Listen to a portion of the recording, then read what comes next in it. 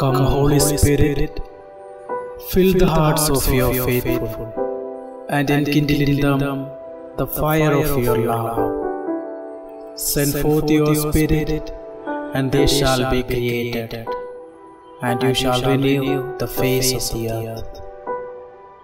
O God, who by the light of the Holy Spirit did instruct the hearts of the faithful, grant that by the same Spirit we may be truly wise and ever enjoy His consolations through Christ our Lord.